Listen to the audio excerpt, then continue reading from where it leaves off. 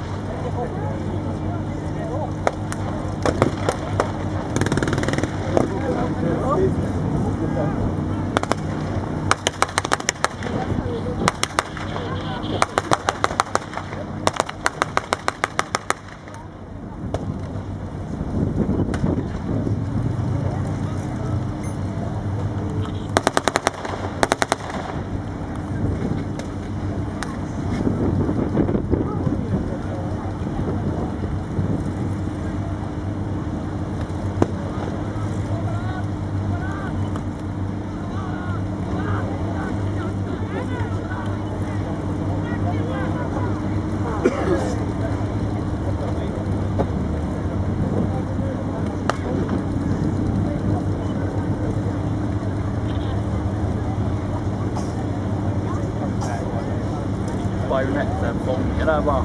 Gott!